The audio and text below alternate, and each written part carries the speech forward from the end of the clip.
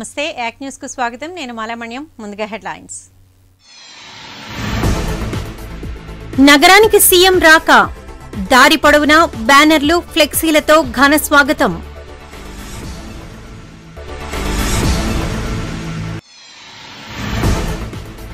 నగరంలో హోంమంత్రి సుడిగాలి పర్యటన. వెలంపేటలో అంబేద్కర్ విగ్రహాన్ని ఆవిష్కరించిన సుచరిత.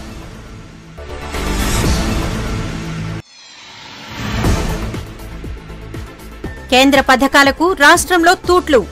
బీజేపీ నేతల ధ్వజం.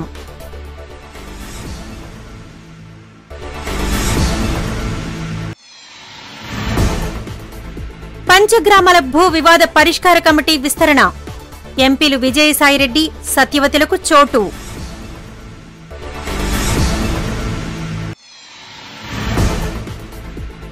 జిల్లాలో నిలకడగా కరోనా.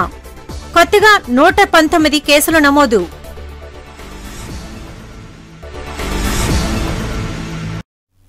ఇక వార్తల వివరాలు చూద్దాం. ముఖ్యమంత్రి జగన్మోహన్ రెడ్డి ఎమ్మెల్యే కరణం ధర్మశ్రీ కుమార్తె వివాహ వేడుకల్లో పాల్గొనడానికి ఈ సాయంత్రం నగరానికి వస్తుండటంతో దారి పొడవునా బ్యానర్లు ఫ్లెక్సీలు జెండాలతో నింపేశారు. వైసీపీ మంత్రులు ఎమ్మెల్యేలు సమన్వయకర్తలు కార్పొరేటర్ అభ్యర్థులు కార్పొరేషన్ల చైర్మన్లు డైరెక్టర్లు అభిమానులు కార్యకర్తలు ఇలా వైసీపీ శ్రేణులంతా నగరాన్ని వైసీపీ జెండాలతో ముంచేశారు. ఎయిర్పోర్ట్ నుంచి NAD flyover Thatichetlapalem railway new colony Telugu Thalli flyover Siripuram కూడలి చిన్నవాల్తీర్ జంక్షన్ వివాహ వేడుకలు జరిగే స్థలం వరకు జగన్మోహన్ రెడ్డి కటౌట్లు దర్శనమిస్తున్నాయి.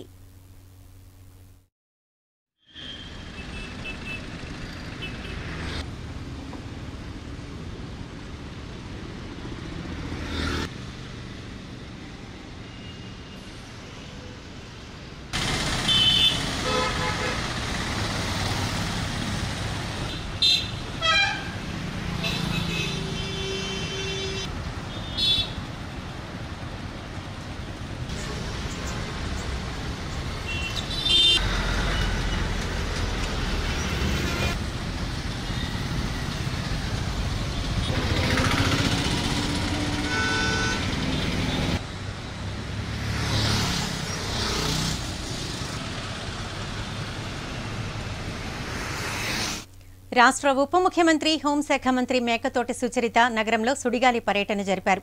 అందులో భాగంగా ముప్పై ఐదు వార్డు వెలంపేట పోస్టాఫీస్ ఆవరణలో all India PNT SC ST ఉద్యోగస్తుల సంక్షేమ సంఘం విశాఖపట్నం డివిజన్ ఏర్పాటు చేసిన భారతరత్న భారత రాజ్యాంగ సృష్టికర్త బీఆర్ అంబేద్కర్ విగ్రహాన్ని ఆవిష్కరించారు. మంత్రి ముత్తంశెట్టి శ్రీనివాసరావు విశాఖ ఎంపీ సత్యనారాయణ దక్షిణ MLA Vasupalli Ganesh Kumar MLA Golla Baburao all India PNT SC ST ఉద్యోగస్తుల సంక్షేమ సంఘం విశాఖపట్నం డివిజన్ నాయకులు పాల్గొన్న ఈ కార్యక్రమాన్ని ఉద్దేశించి ఆమె మాట్లాడారు. అంబేద్కర్ ఆశయ సిద్ధి లక్ష్యంగా జగన్ సర్కార్ దళితుల ఉద్ధరణకు పెద్దపీట వేస్తోందని పేర్కొన్నారు. సాహెబ్ అంబేద్కర్ ఆలోచన విధానమే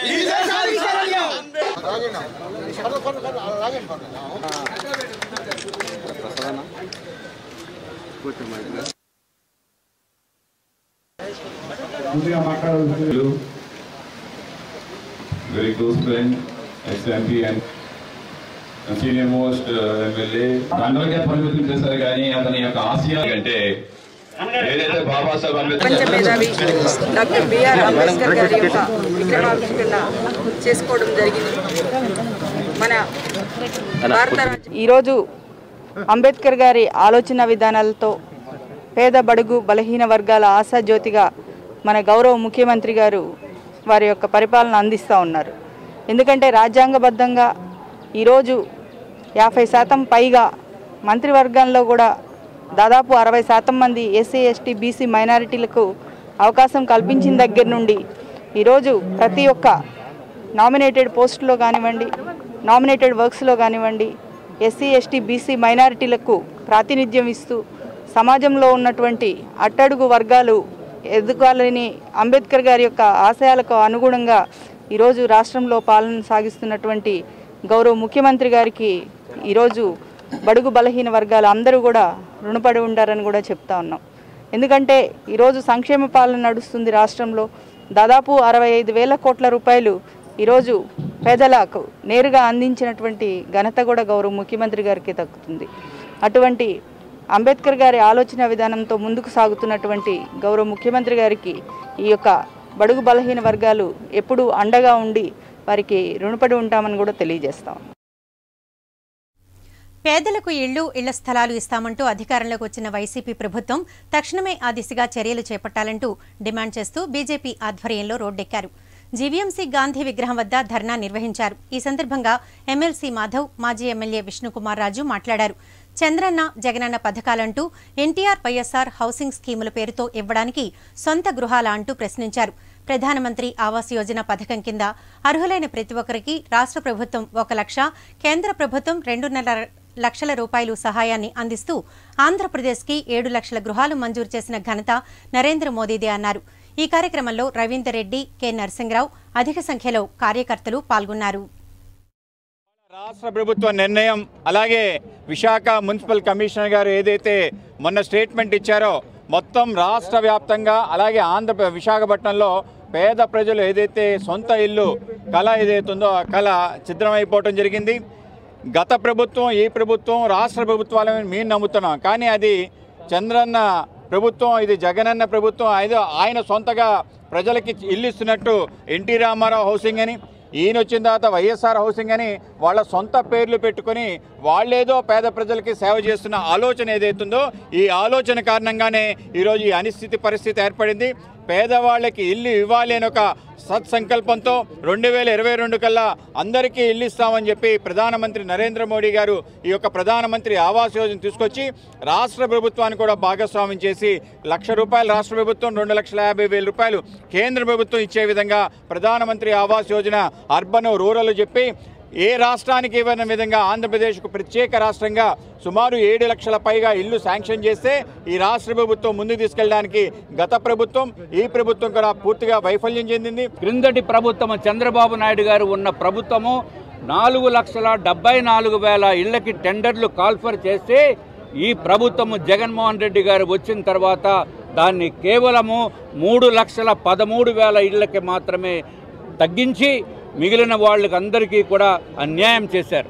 నాలుగు లక్షల డెబ్బై నాలుగు వేల ఇళ్ళకి టెండర్లు పిలిస్తే ఈ ప్రభుత్వం వచ్చాక మూడు లక్షల పదమూడు వేల మందికి ఇల్లు ఇవ్వటానికి ప్లాన్ చేసి మిగిలిన టెండర్స్ అన్నీ రద్దు చేయటం జరిగింది. అట్లాగే విశాఖపట్నానికి చూస్తే యాభై ఎనిమిది వేల టెండర్ ఇల్లుకి టెండర్లు కాల్ఫర్ చేస్తే ఇదివరకు ప్రభుత్వము ఇప్పుడు ప్రభుత్వము దాన్ని కేవలము ఇరవై ఎనిమిది వేలకే మాత్రమే కుదించి డబ్బులు కట్టి డీడీలు కట్టిన వారికి అన్యాయం చేసే పరిస్థితిలో ఈ రాష్ట్ర ప్రభుత్వం వ్యవహరిస్తుంది. ఇల్లు డబ్బులు కట్టి తర్వాత ప్రొసీడింగ్స్ ఇచ్చిన తర్వాత కూడా ఈ రాష్ట్ర ప్రభుత్వం పట్టించుకోకుండా సంవత్సరంన్నర కాలం నుంచి కూడా వృధా చేస్తూ కాలాన్ని వృధా చేస్తూ వాళ్ళకి ఇల్లు కేటాయించలేదు. వాళ్ళందరికీ కూడా డబ్బు కట్టిన ప్రతి ఒక్కరికి కూడా ఇల్లు కేటాయించాలని చెప్పి మేము డిమాండ్ చేస్తున్నాం. పంచగ్రామాల భూ సమస్య పరిష్కారానికి వడిగవడిగా అడుగులు పడుతున్నాయి. ప్రభుత్వం గత ఏడాది ఆరుగురితో వేసిన కమిటీలో తాజాగా మరో ముగ్గురికి చోటు కల్పించింది. కొత్తగా రాజ్యసభ సభ్యుడు వి. విజయసాయిరెడ్డి అనకాపల్లి ఎంపీ భీశెట్టి వెంకట సత్యవతి రాష్ట్ర దేవాదాయ శాఖ కమిషనర్ను కమిటీలో నియమిస్తూ ప్రభుత్వ కార్యదర్శి ఎం గిరిజాశంకర్ జీవో జారీ చేశారు.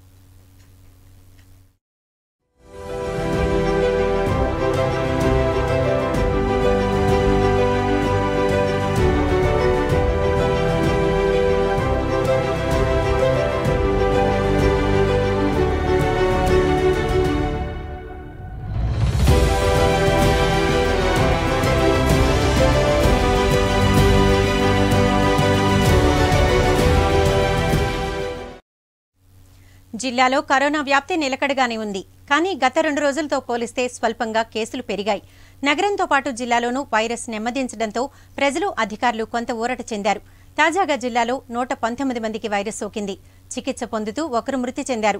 దీంతో మొత్తం పాజిటివ్ కేసుల సంఖ్య యాభై ఆరు వేల అరవైకి మృతుల సంఖ్య నాలుగు వందల డెబ్బై నాలుగుకి పెరిగింది.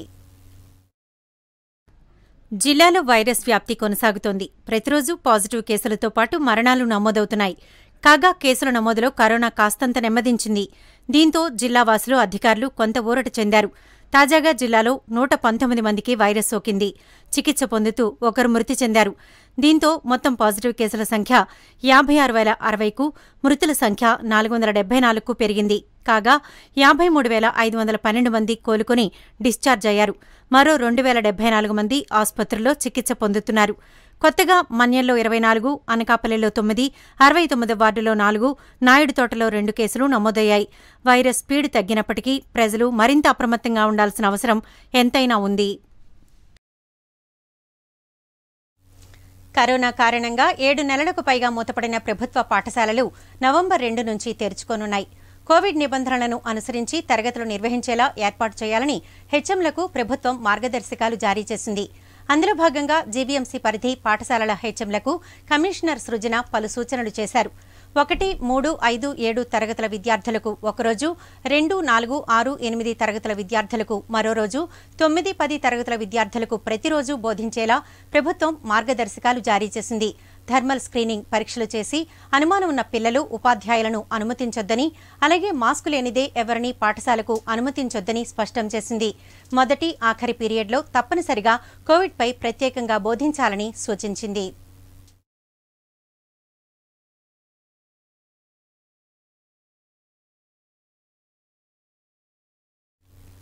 ఎస్సీ ఎస్టీ ఔత్సాహిక పారిశ్రామికవేత్తలకు ముఖ్యమంత్రి జగన్మోహన్ రెడ్డి ఇస్తున్న ప్రోత్సాహం మరువలేనిదని పాడేరు ఎమ్మెల్యే భాగ్యలక్ష్మి కొనియాడారు. గిరిజన ప్రాంతాల్లో అనేక రకాల మేలు రకమైన పంటలు పండిస్తున్నారని ఈ ప్రాంతాల్లో పరిశ్రమలు ఏర్పడి ఈ గిరిజనులకు సహాయంగా నిలవాల్సిన ఆవశ్యకత ఉందని తెలిపారు. ఎలాంటి షూరిటీ గ్యారంటీలు లేకుండా రుణాలు ఇవ్వడానికి బ్యాంకులు ముందుకు రావాలని సూచించారు. ముఖ్యమంత్రి ఆశయాలకు అనుగుణంగా ఎస్సీ ఎస్టీ యువత ఎదగాలన్నారు. సో ఈరోజు జగనన్న వైఎస్ఆర్ బడుగు వికాసం అనే కార్యక్రమాన్ని అంటే మండే జగన్మోహన్ రెడ్డి గారి చేతుల మీదుగా గౌరవ ముఖ్యమంత్రి గారి చేతుల మీదుగా అఫీషియల్గా లాంచ్ అవడం జరిగింది. అండ్ ఈరోజు గౌరవ మంత్రి గారు జిల్లా మంత్రి గారు అవంతి శ్రీనివాసరావు గారి అధ్యక్షతన ఈరోజు శాసనసభ్యులుగా మేమందరం కూడా పార్టిసిపేట్ చేయడం నిజంగా చాలా చాలా సంతోషం అనిపించిందండి. ఎందుకంటే ఎస్సీ ఎస్టీ ఎంటర్ప్రీనర్స్ని ఎంకరేజ్ చేయాలన్న ఒక ఉద్దేశంతోనే ఒక న్యూ ఇండస్ట్రియల్ పాలసీతో ఈరోజు గవర్నమెంట్ రావడం అనేది నిజంగా ఆంధ్ర రాష్ట్రంలో ఉన్నటువంటి ప్రతి ఒక్క ఎస్సీ ఎస్టీ సోదరులందరి తరపున కూడా గౌరవ ముఖ్యమంత్రి గారికి శిరస్సు వంచి నమస్కారాలు తెలియజేసుకుంటున్నాం. ఎందుకంటే అట్టడుగునున్నటువంటి బడుగు బలహీన వర్గాల ఎస్సీ ఎస్టీస్ ఎవరైతే ఉన్నారో వాళ్ళు ఉద్యోగాలకి పరిమితం కాకుండా ఔత్సాహిక పారిశ్రామికవేత్తలుగా కూడా రాణించాలి అనే ఒక ఉద్దేశంతోనే ఈరోజు న్యూ ఇండస్ట్రియల్ పాలసీ అనేది తీసుకొని రావడం జరిగింది. అండ్ ఇండస్ట్రియల్ పాలసీ గతంలో చూసుకున్నట్టయితే గతంలో కన్నా ఈసారి చాలా మెరుగ్గా ఉందనే మనం అందరం కూడా చెప్పుకోవాలి. ఎందుకంటే లాస్ట్ టైం గత ప్రభుత్వంలోని ఉమెన్కి మెన్కి డిఫరెన్షియేట్ చేస్తూ thirty five percent forty five percent subsidies ఉండేవి. అండ్ ఈరోజు అందరూ కూడా ఈక్వల్ సమానంగా చూడాలి అనే ఒక ఉద్దేశంతో ఈరోజు ఫార్టీ ఫైవ్ పర్సెంట్ సబ్సిడీతోని ఈరోజు ఇండస్ట్రీ పాలసీ రూపాంతరం చెందడం జరిగింది. అదేవిధంగా ఏదైతే ఏపీఐసిసిలోని ఇండస్ట్రియల్ సైట్స్ ఏవైతే ప్లాట్స్ ఏవైతే ఉన్నాయో అవి కూడా ఎస్సీ ఎస్టీలకి పర్సంటేజ్ ఇంక్రీజ్ చేస్తూ ఈరోజు కేటాయింపులు చేయటం కానీ అండ్ అంటే గతంలో మనం మాట్లాడుకున్నట్టుగానే ఎందుకంటే వైఎస్ఆర్ చేయూత్ అనే పథకం ద్వారా లేడీస్ని టార్గెట్ చేసుకుంటూ ఫార్టీ ఫైవ్ నుంచి సిక్స్టీ ఇయర్స్ లేడీస్కి ఒక చిన్న తరహాలోని పరిశ్రమలు చిన్న చిన్నవన్న వాళ్ళు పెట్టుకొని వాళ్ళు వాళ్ళ కాళ్ళ మీద వాళ్ళ నిలబడుతూ కుటుంబానికి భారంగా కాకుండా కుటుంబానికి సపోర్ట్గా ఉండాలని చెప్పేసి అని పెద్ద పెద్ద సంస్థలు అమూల్తో కావచ్చు ఐటీసీ రిలయన్స్ వీళ్ళంత సంస్థలతో కూడా ఎంఓయూ కుదిరించుకొని వాళ్ళకి ఎలాగైతే సపోర్ట్గా నిలిచారో ఈరోజు అన్ఎంప్లాయిడ్ యూత్ ఎవరైనా ఉన్నా లేకపోతే ఔత్సాహిక పారిశ్రామికవేత్తలుగా ఎదగాలనే ఆలోచన ఉన్న వాళ్ళు ప్రతి ఒక్కరు కూడా both from the manufacturing sector and the service సెక్టార్లో కూడా రాణించాలనే ఉద్దేశంతో ఫార్టీ ఫైవ్ పర్సెంట్ సబ్సిడీలు కేటాయించి ఈరోజు మాకు అందరికి కూడా ఇంత భరోసాగా నిల నిలబడినటువంటి గౌరవ ముఖ్యమంత్రి గారికి నిజంగా ధన్యవాదాలు తెలియజేస్తున్నాం. ఆంధ్ర యూనివర్సిటీ భూములను స్టార్టప్ కంపెనీలకు ఇచ్చే ఆలోచనను తక్షణమే విరమించుకోవాలని SFI greater Visakha committee demand చేసింది. యూనివర్సిటీ భూములను అంకురాలకు ఇవ్వడాన్ని వ్యతిరేకిస్తూ ఏయూ మెయిన్ గేట్ వద్ద ధర్నా నిర్వహించింది. ఈ సందర్భంగా నగర కార్యదర్శి ఎల్జే నాయుడు మాట్లాడుతూ స్టార్టప్ కంపెనీలకు గతంలో వీఎంఆర్డీఏ భూములను ఇవ్వడానికి ఒప్పందం చేసుకుని నేడు విశాఖ రాజధాని ప్రకటించడంతో రద్దు చేశారన్నారు. ఇప్పుడు యూనివర్సిటీలో ఉన్న భూములను ఇస్తామని రిజిస్ట్రార్ వీసీలు ప్రకటించడం దుర్మార్గమన్నారు. ఇప్పటికే యూనివర్సిటీ భూములను ప్రైవేటు వారికి కట్టబెట్టారన్నారు.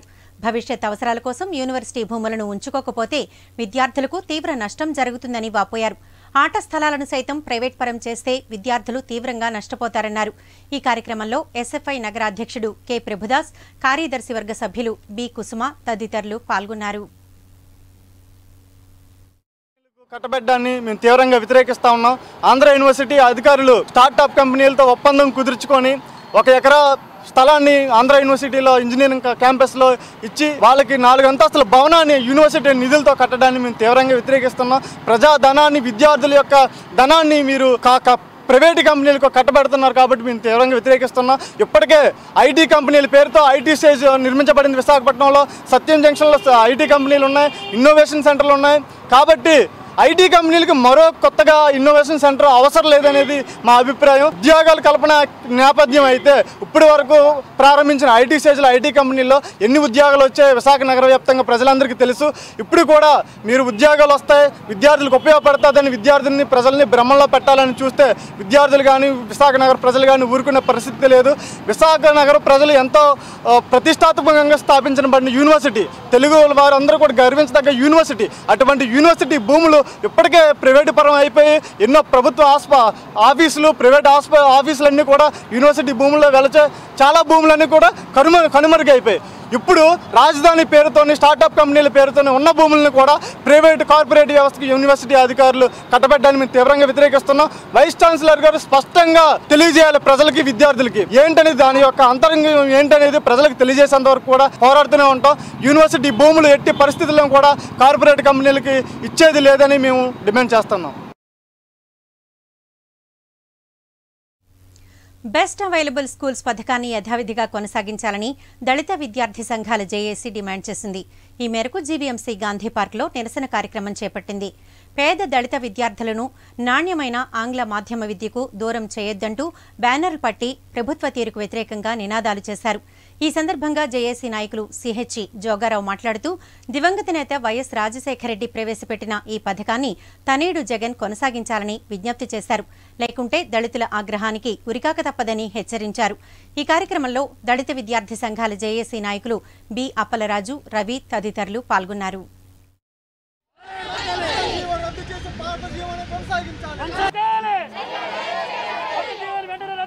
మరి గాంధీ విగ్రహం దగ్గర నిరసన తెలియజేస్తున్నాం. గత కొన్ని రోజులుగా మరి గత నెల ఇరవై ఎనిమిదో తారీఖున ఈ ప్రభుత్వం వారు బెస్ట్ అవైలబుల్ స్కూల్ అనే పథకాన్ని రద్దు చేసి ఒక జీవోను ప్రవేశపెట్టారు.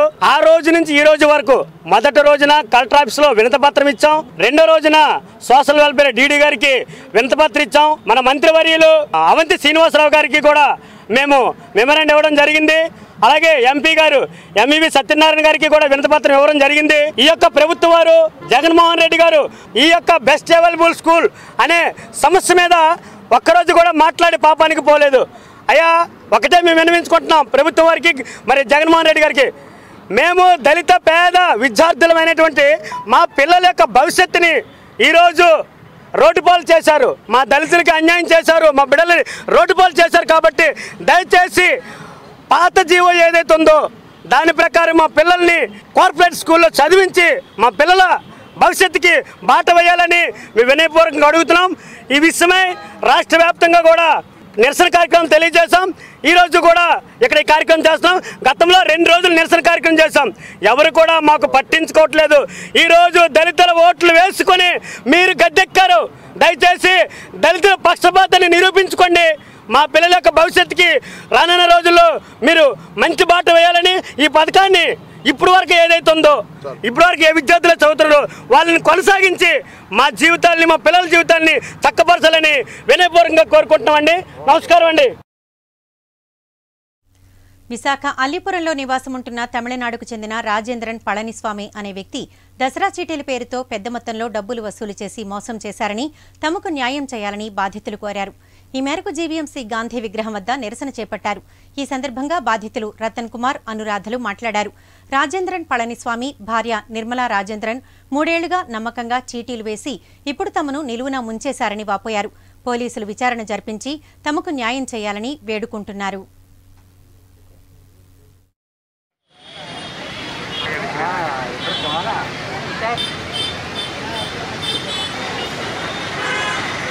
ఫైనాన్స్ వ్యాపారి అయిన రాజేంద్ర కుమార్ రాజేంద్రన్ పళనిస్వామికి ఈ దసరా చీటీల నిమిత్తం నేనుతో నాతో పాటు నా స్నేహితులు ఫ్రెండ్స్ గ్రూపుల కింద చేరి దరిదాపు ఒక నలభై యాభై మంది వరకు కట్టించామండి. రెండు సంవత్సరాలు కట్టించాం. మూడో సంవత్సరం ఇది. మూడో సంవత్సరం చాలామంది చేత కట్టించాం. అతను దసరా చీటీల అకౌంట్లు సెటిల్ చేయకుండా పారిపోయాడండి తమిళనాడు. టూ టౌన్లో కూడా కంప్లైంట్ ఇచ్చాం. మీరు న్యాయం చేయగలరని ఇదే విషయం కమ కలెక్టర్ గారికి కూడా వినతపత్రం అంత అందజేయడానికి చూస్తున్నామండి. బోల్డ్ అంతమంది ఉన్నాము. తర్వాత దసరాకి సంబంధించిన చీటీ క్రిస్మస్ చీటీ కూడా వేసారండి కొత్తగా ఈ సంవత్సరం. సో అందరూ కలిపి దరిదాపు వంద కన్నా ఎక్కువ మంది అయిపోయారు. దరిదాపు డెబ్బై లక్షల వరకు మా గ్రూప్కేనండి. ఇటు కొమ్మాది మధురవాడ మద్దిలపాలెం ఆ, ఇటు ఓల్డ్ పోస్ట్ ఆఫీసులో కొంతమంది వన్ టౌన్ వాళ్ళు కొంత- కొంతమంది కలిపి దరిదాపు వంద మంది ఉంటామండి. నేను మధురవాడ నుంచి వస్తాను ఇక్కడికి. మధురవాడలోని అతను ఒక ఐదు ఆరు సంవత్సరాల నుంచి మాకు బాగా తెలుసు. అయితే అతని ద్వారాగా మేము చీటీలు అవి వేయడం జరిగింది. రెండు మూడు సంవత్సరాల నుంచి బాగానే ఇస్తున్నాడు. ఇస్తున్నాడు కదా అని మేము ఇంకా ఎక్కువ ఈసారి ఎక్కువ మందిని మేము జాయిన్ చేయడం జరిగింది. అయితే ఇలా డబ్బులు పట్టుకొని పారిపోతాడన్న సంగతి మాకైతే తెలీదు. ఈ విధంగా వెళ్ళిపోవడం జరిగింది. పోలీస్ స్టేషన్ కంప్లీట్ కూడా ఇచ్చాము. మరి హౌస్ ఓనర్ వాళ్ళ దగ్గరికి వెళ్ళడం జరిగింది. ఇల్లు ఖాళీ చేస్తారని అంటున్నారు. అన్ని వస్తువులు కూడా అమ్మేశారు. అమ్మిన వస్తువులు కూడా వాళ్ళ డాబా పైన వాళ్ళకి ఫ్రిడ్జ్ అమ్మారని మిగిలిన పోస్ట్ ఆఫీస్ దగ్గర ఎక్కడో అమ్మేశాడని తెలిసింది సార్. మా ప్రేమ సంస్థ వ్యవస్థాపకులు ముకుందబాబు ఇరవై ఆరవ పుట్టినరోజు వేడుకలు ఉషోదయ జంక్షన్ మా ప్రేమ సంస్థలో జరిగాయి. ఈ సందర్భంగా స్థానిక పేదలకు ఆయన దుప్పట్లు బట్టలు పంపిణీ చేశారు. అనంతరం మాట్లాడుతూ తన బర్త్డేను పేదల్లో సంతోషాన్ని నింపే విధంగా సేవా కార్యక్రమాలు నిర్వహించడం సంతోషంగా ఉందన్నారు. భవిష్యత్తులో మరిన్ని సేవా కార్యక్రమాలతో ముందుకు సాగుతానని తెలిపారు.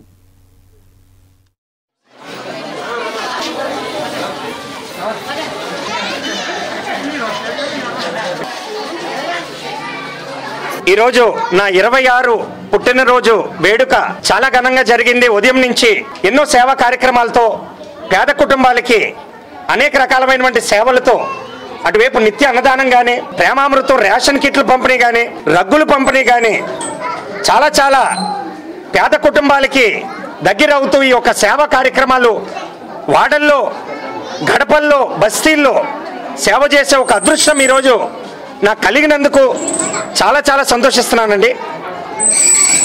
నా కార్యకర్తలు నా అభిమానులు నా సపోర్టర్స్ ప్రతి ఒక్కరు కూడా గత పది సంవత్సరాలుగా మా ప్రేమ సంస్థని సపోర్ట్ చేస్తూ ఈరోజు మా ప్రేమ సంస్థ తల్లిని నిలబెట్టి ఈరోజు కొన్ని వేల మంది పేద కుటుంబాలకి మా ప్రేమ సంస్థ ఒక అండగా దండగా నిలబడుతూ కార్యకర్తలు అభిమానులు అందరూ కూడా వాళ్ళ ఆశీస్సులు ఈరోజు నా పుట్టినరోజు వేడుకలుగా ఎంతో ప్రేమతో అభిమానంతో వాళ్ళ ఆశీస్సులు ఎల్లప్పటికీ నాకు ఉండాలని ఆ భగవంతుడు ఆశీస్సులు కూడా ఉండాలని మనస్ఫూర్తిగా కోరుకుంటూ ఇంకా అద్భుతమైనటువంటి సేవా కార్యక్రమాలు మా ప్రేమ సంస్థ నుంచి రేపు రాబోయే రోజుల్లో రావాలని కోరుకుంటూ మీ ముకుంద్ బాబు మా ప్రేమ సంస్థ.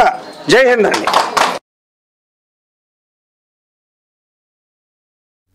బులెటిన్ ముగించే ముందు హెడ్లైన్స్ మరోసారి. నగరానికి సీఎం రాక దారి పొడవునా బ్యానర్లు ఫ్లెక్సీలతో ఘన స్వాగతం.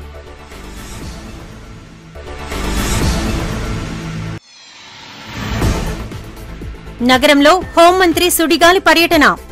వెలంపేటలో అంబేద్కర్ విగ్రహాన్ని ఆవిష్కరించిన సుచరిత.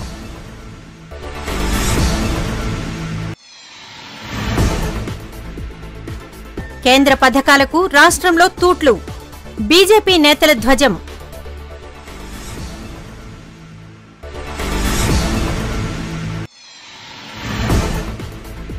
పంచగ్రామాల భూ వివాద పరిష్కార కమిటీ విస్తరణ.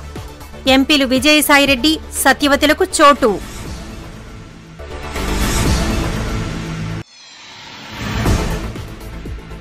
జిల్లాలో నిలకడగా కరోనా.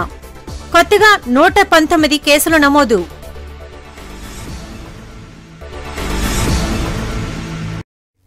యాక్ న్యూస్ ఇంతటితో సమాప్తం. Stay connected.